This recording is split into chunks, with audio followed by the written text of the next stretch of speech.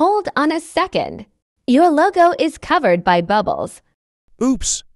Sorry. Don't worry, 20th Century Fox. I will clean it for you.